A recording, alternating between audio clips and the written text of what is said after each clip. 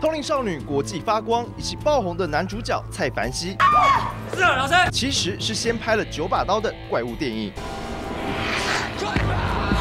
在意大利影展为也先轰动。那个掌声是热烈到，我觉得是体验过最强的掌声。然后他们一直拍，一直拍，一直拍，一直拍。国内掀起应演比例讨论声浪，网剧成了影视新趋势。灯光师、音响师最抢手，晋升高薪一族。晋级的台剧系列报道。我是卢秀芳，周日晚间十一点全新一小时中天调查报告，调查到底。